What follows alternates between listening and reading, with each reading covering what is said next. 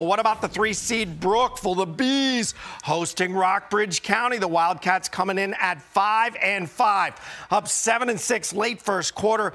Drake McDaniel to Stephen Preston down the sideline, 35 yard touchdown. Bees up 14 6. Next, Brookville possession. Tayshawn Butler going to take the toss outside and going 54 yards to pay dirt. Look him book 21 6 Bees.